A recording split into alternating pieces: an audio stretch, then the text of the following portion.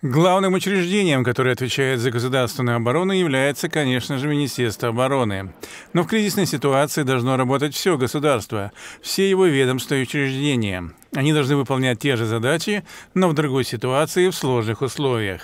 Госконтроль проверил готовность пяти министерств и несколько задач гособороны. Выяснилось, что эта готовность недостаточна. Для того, чтобы государство функционировало, должна работать и система здравоохранения, должна работать энергоснабжение, снабжение продовольствием. То есть министерство, выполняющее определенные функции в мирное время, должны с ними справиться и в тревожные времена. Мы и проверили, справятся ли они с этим. Госконтроль обнаружил, что есть и проблемы, но есть и возможности, которые мы могли бы использовать лучше. Госконтроль исходил из концепции широкомасштабной государственной обороны, которая ставит перед учреждениями 90 разных задач. Проблема в том, что в подчинении каждого ведомства есть свои учреждения, у которых есть задачи и в мирное, и в кризисное время. Проблема еще и в том, что большая часть планов является секретной. Поэтому, с одной стороны, надо обеспечить постоянное быстрое движение информации, а с другой предотвратить ее утечку. С вопросами государственной обороны не должны быть знакомы все. Важно то, чтобы о них знали те, кому это положено. Может сложиться ситуация, когда одно министерство полагается на другое, об этом оба министерства должны знать.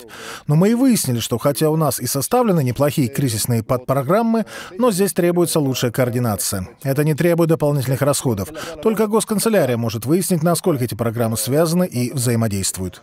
Еще один вопрос ресурсы, как людские, так и материальные. Министерства должны знать, хватит ли у них специалистов для работы в кризисное время и какими должны быть самые разные запасы. Анализ должен проводиться регулярно и на основе оценки рисков. В большей степени проблема кадрового резерва решена в Минобороны и МВД. Возможно, где-то есть нехватка ресурса, а где-то избыток.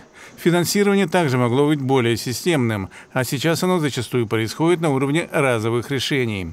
Эксперты уже успели подготовить ряд рекомендаций, ведь по мнению госконтроля, готовность министерства работать в условиях обороны нельзя назвать достаточной. Тут надо напомнить о нынешней общей весьма напряженной ситуации в мире. Михаил Владиславлев, Роман Васильев, Новости Таллина.